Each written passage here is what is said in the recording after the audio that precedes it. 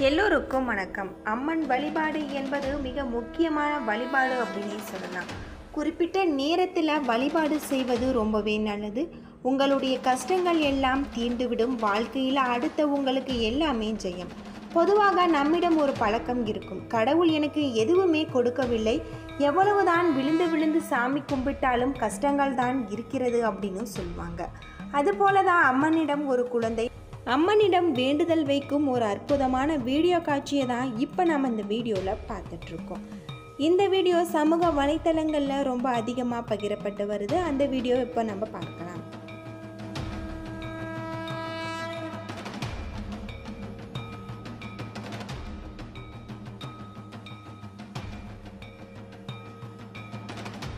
பொதுவாக எப்பொழுதுமே நாம் இருக்கும் நிலையில இருந்து நமக்கு மேலே இருப்பவர்களை நாம் பார்க்கக்கூடாது. நமக்கு கீழே இருப்பவர்களை தான் நாம் பார்க்க வேண்டும். நமக்கு ஆண்டவன் குறைவில்லாத எல்லா செல்வத்தையும் கொடுத்திருக்கிறார் என்பது உங்களுக்கு புரியும். கடவுளை நீங்கள் திட்டுபவர்களாக இருந்தால் இந்த பழக்கத்தை இன்றோடு விட்டுவிடுங்கள் கடவுள் வாழ்க்கையில நமக்கு எல்லா செல்வங்களையும் நிறைவாக தான் கொடுத்திருக்கிறார் என்ற திருப்தியோடு நாம் வாழ வேண்டும். வெள்ளிக்கிழமை நேரத்தில் நம்ம அம்பாளை வழிபாடு செய்வதால் நம்முடைய குடும்பத்தில் இருக்கும் கஷ்டங்கள் சீக்கிரம் தீரும். பொதுவாக குடும்பம் என்றாலே பிரச்சனை என்பது நிச்சயமாக இருக்கும். எல்லோர் குடும்பத்திலும் இது நடப்பதுதான். இதை பற்றி எப்பொழுதுமே கவலைப்பட்டு கொண்டு இருப்பதால் அது மாறிவிடப் போவதில்லை. குடும்பத்தில் இருக்கும் ஒவ்வொருவருக்கும் ஒவ்வொரு மாதிரியான குணாதிசயங்களை கொண்டு இருப்பாங்க நம் கைகளில் இருக்கும் விரல்களே அதற்கு உதாரணமாக இருக்குது அப்படின்னு சொல்லலாம். அப்படி இருக்கும் பொழுது பிரச்சனை என்று வரும் பொழுது நீ நான் என்று பிரித்து பேசுவது பிரச்சனைக்கு தீர்வாகாது.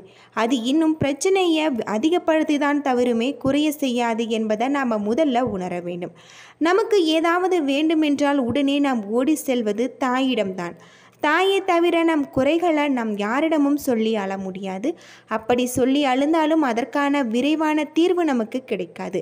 அது போலதான் நாம் குறைகளையும் கஷ்டங்களையும் நிவர்த்தி செய்ய அம்பாள் ரூபத்தில் இருக்கும் உலகை படைத்த சக்தி நமக்கு தாயாக இருந்து நம் குறைகளை உடனுக்குடன் தீர்த்து செய்வாள் என்பது நாம் நம்ப வேண்டும். அம்பாளிடம் வேண்டிக் கொண்டால் எண்ணிய எண்ணமெல்லாம் எண்ணியபடி ஈரேடும் என்பாங்க. முதல்ல உங்களுக்கு இஷ்ட தெய்வமாக மிகவும் பிடித்த அம்பாள் படத்தை எடுத்துக்கொள்ளுங்கள் ஒரு சிலருக்கு மாரியம்மன் பிடிக்கும் ஒரு சிலருக்கு துர்க்கை அம்மன் பிடிக்கும். எல்லா அம்மனும் ஒன்றுதான் எல்லோருமே தாய் தான் இருந்தாலும் உங்களுக்கு எந்த தாயிடம் அதிக நம்பிக்கை இருக்கிறதோ அந்த அம்பாள் படத்தை தேர்ந்தெடுத்து கொள்ளுங்கள்.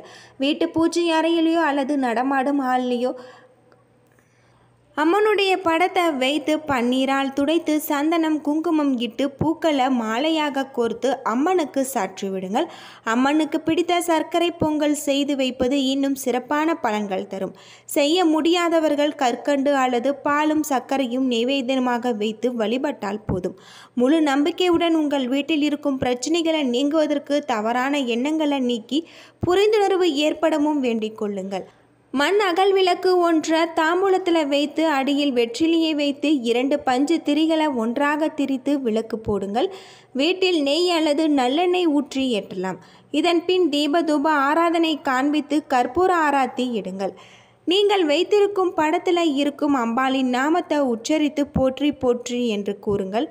இதுபோல நூற்றி எட்டு முறை நீங்கள் போற்று என்று சொல்லி உச்சரித்தால் உங்களுடைய கஷ்டங்கள் அனைத்தும் தீரும் அப்படின்னும் சொல்லப்படுது.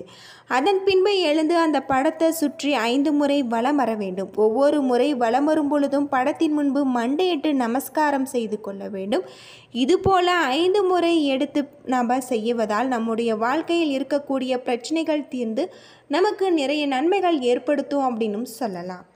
இந்த பரிகாரத்தை நம்ம வெள்ளி அல்லது செவ்வாய்க்கிழமைகளில் செய்யலாம். அதிலும் குறிப்பாக பஞ்சமி அல்லது பௌர்ணமி திதிகளில் செய்தால் இன்னும் நிறைய பலன்கள் நமக்கு கொடுக்கும் அப்படின்னும் சொல்லப்படுது. பொதுவாக ஒட்டுமொத்த உலகத்தில் உள்ள அனைத்து மாரியம்மன் கோவிலுக்கும் தலைமை பீடமானது தான் சமயபுரமாகும். சக்தி தலங்களில் மிகவும் பிரசித்தி பெற்றது இந்த தலம். சமயபுரம் மாரியம்மனை வணங்கினால் சங்கடங்கள் போக்கும் என்பது பக்தர்களின் நம்பிக்கை. பக்தர்களின் வேண்டுதல்களை நிறைவேற்றுவதால் இந்த கோவில்களுக்கு தமிழகத்தின் பிற பகுதிகளில் இருந்தும் வெளி மாநிலங்களில் இருந்தும் பக்தர்கள் அதிக அளவில் வருகை தராங்க அப்படின்னே சொல்லலாம்.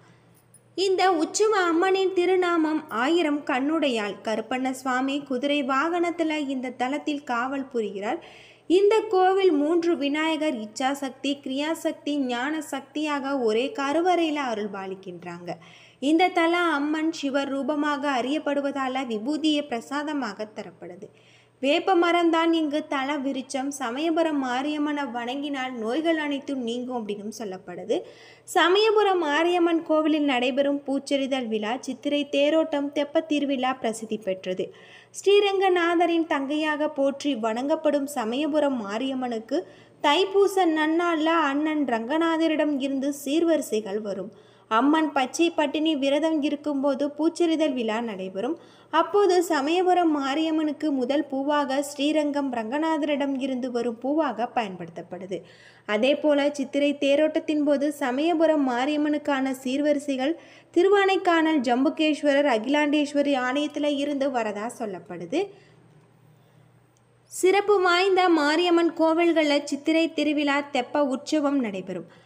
அன்று அம்மனுக்கு மிகவும் விசேஷ முறையில் பூஜைகள் செய்வாங்க. தெப்ப உற்சவம் பெரும்பாலும் சித்திரை மாதத்தில் அம்மன் கோவில்களில் நடைபெறும் திருவிழா. கோடை வெயிலின் தாக்கத்தை மறைத்து குளிர்கரையில் வசந்த ரூபத்தில் இயற்கையின் குளுமையை தரும் சூரியனின் பரம விரோதியான சுக்கிரனால் தான் முடியும். நாம் படும் பிரச்சனைகள் அனைத்திலிருந்தும் விடுதலை தருபவர் சுக்கிரன் தான். எந்த ஒரு பிரச்சனையின் தீர்வை உற்று நோக்கினால் அதில் சுக்கிரனின் பங்கு இருப்பது புரியும். நோயாளிகளின் நோயை குணப்படுத்த சுகமளிப்பவர் சுக்கிரன். இருட்டிற்கு வெளிச்சம் அளிப்பவர் சுக்கிரன். மன வருத்தத்தில் இருப்பவர்களுக்கு மகிழ்ச்சி தருபவர் சுக்கிரன். இந்த சமயபுரம் மாரியம்மன் கோவில் சோழ மன்னர் தன் தங்கைக்கு சீதனமாக ஒரு நகரையும் கோட்டையும் உண்டாக்கி கொடுத்த இடமாக கருதப்படுது. பிற்காலத்தில் பாண்டிய மன்னர்களின் படையெடுப்பால் அவை அழிந்து வேம்புக்காடாக மாறியதாகவும் தொடர்ந்து இங்கு அம்மன் கோவில் உருவானதாகவும் சொல்லப்படுது. வைணவி என்ற மாரியம்மன் சிலை ஸ்ரீரங்கத்தில் இருந்தது. அதன் உக்கிரம் தாங்க முடியாமல் போனதால் அங்கிருந்த சுவாமிகள் அச்சிலையை அங்கிருந்து அப்புறப்படுத்தி ஆணையிட்டிருக்காங்க.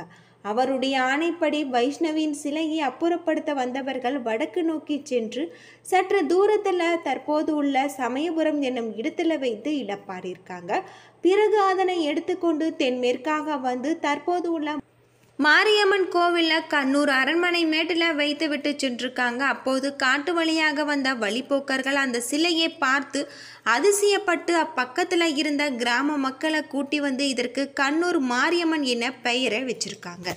இதன் பின்னர் சமயபுரம் மாரியம்மனாக மக்களுக்கு காட்சி தரதாகவும் சொல்லப்பட்டது. விஜயநகர மன்னர் தென்னாட்டின் மீது படையெடுத்து வந்து கண்ணூரில் முகாமிட்டிருக்காது அப்போது மாரியம்மனை வழிபட்டு தாங்கள் தென்னாட்டில் வெற்றி பெற்றால் அம்மனுக்கு கோவில் கட்டி வழிபடுவதாக சபதம் செஞ்சுருக்காங்க. அதன்படி வெற்றியை பெற்று கோவிலை கட்டியிருக்காங்க. விஜயநகர சொக்கநாதர் காலத்தில் கிபி ஆயிரத்தி எழுநூற்றி ஆறு அன்று அம்மனுக்கு தனியாக கோவில் அமைச்சிருக்காங்க. அதன் சான்றாக சொல்லப்படுது. சுமார் நானூறு ஆண்டுகளுக்கு முன் தோற்றுவிக்கப்பட்ட கண்ணூர் மாரியம்மன் கோவில் இன்று சமயபுரம் மாரியம்மனாக நமக்கு காட்சி தரதாகவும் சொல்லப்படுது. அதிக அளவில் இந்த கோவிலுக்கு பக்தர்கள் வந்து அம்மனிடம் வேண்டுதல் வைத்து தங்களுடைய நேர்த்திக்கடனை செலுத்தி செல்கிறாங்க இந்த கோவிலில் நடைபெறும் விசேஷங்கள் மிகவும் முக்கியமானவையாக சொல்லப்படுது. அநீதிகளையும் தீமைகளையும் தாங்கி தீராத நோய் தீர்க்கும் ஒரு பரிகார தலமாக தான் சமயபுரம் மாரியம்மன் கோவில் இருக்குது மாரியம்மன் என்றாலே மக்களுக்கு மிகவும் மகிழ்ச்சி தரக்கூடிய ஒரு ஆலயம் அப்படின்னே சொல்லலாம்.